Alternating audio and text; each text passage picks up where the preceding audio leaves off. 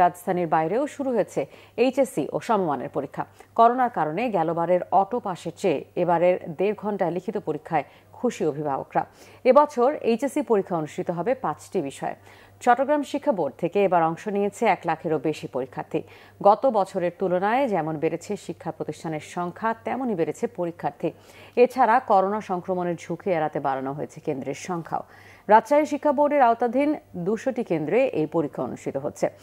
সিলেটে অংশ নিয়েছেন সাতষট্টি হাজার সাতশো বিরানব্বই জন শিক্ষার্থী। এদিকে স্বাস্থ্যবিধি মেনে রংপুর বিভাগের আট জেলায় ছশো সত্তরটি কলেজ থেকে অংশ নিয়েছে এক লাখ পনেরো হাজার সাতশো পঁচানব্বই শিক্ষার্থী। তাপমাত্রা, পরিমাপ ও বাধ্যতামূলক মাস্ক ব্যবহারের মধ্যে দিয়ে বরিশালের শিক্ষার্থীরা পরীক্ষায় অংশ নিয়েছে। এছাড়া টাঙ্গাইল, নোয়াখালী, সাতক্ষীরা, নোয়াখালী, কুড়িগ্রাম ও জয়পুরহাট সহ দেশের বিভিন্ন জেলাতেই স্বাস্থ্যবিধি মেনে পরীক্ষায় অংশ নিচ্ছে শিক্ষার্থীরা।